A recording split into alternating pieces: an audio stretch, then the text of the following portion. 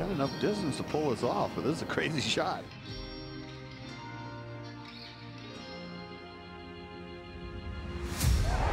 What a shot. It's just not a fair fight. Almost like a dream.